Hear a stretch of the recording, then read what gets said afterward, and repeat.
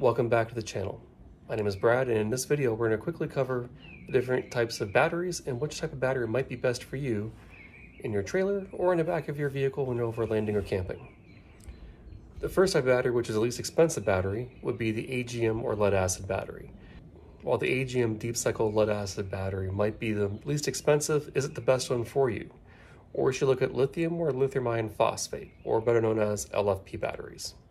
Each of them have their pros and their cons. And we'll quickly cover them. Not all of them, but maybe this will help you decide which battery is best for you, and I'll tell you which ones I chose to go with as well. First are AGM batteries. They are the least expensive, normally, but they have some drawbacks. While they're cheaper, they also weigh about 70 pounds apiece, and they only can be discharged about half their capacity. So in a 100 amp hour battery, you only get about 50 amp hours out of it. Next, we have lithium batteries. While lithium batteries have the ability to pull down to 0% capacity, they do have some drawbacks. How many cycles you can charge on them. Meaning, after about 500 cycles of discharge and charge, you only get about 80% of the capacity of the battery. Lastly, you have lithium ion phosphate or LFP batteries. These batteries might be a little more pricey, but they also offer you the ability to discharge down to 0%, and they give you three to 5,000 cycles before 80% capacity. That's pretty awesome. However, with LFP batteries, they have one thing they don't like, and that's cold weather. You can't charge them below 32 degrees Fahrenheit or 0 degrees Celsius. In order to charge them, you need to either get self-heating batteries, or you need to wrap some heating pads around them so you can get them warm enough, or you can actually put a charge into them. When looking for LFP batteries, make sure you look for one that has low temperature cutoff. That way when you're charging and or trying to charge in the wintertime when it drops below the temperature that it likes, it'll stop charging to protect the battery from damage.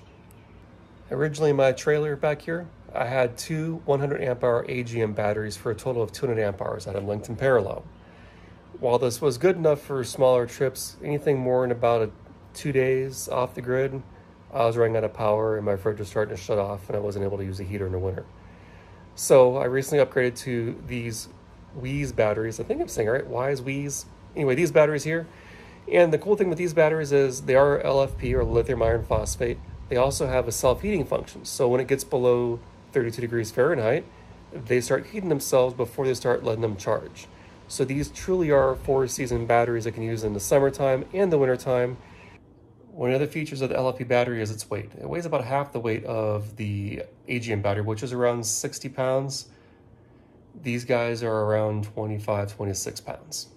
While the type of battery you choose for your off-grid situation is up to you, I'd highly recommend looking at the self-heating LFP batteries as they're a great option. They weigh a lot less, you get all the capacity, and you can use them on all four seasons. I'll make sure to post again on a, a short-term and a long-term review to let you know how they're holding up. One more quick comment. I did pay for these batteries my own money. If you use the link down in the description, I'll give you free shipping and it'll help support the channel. And if you look closely back you can see I did mount some solar panels to the roof. I'll get into that in a future video. So if that kind of stuff interests you, please make sure to subscribe, and I'll see you again in the next video. Thank you for watching.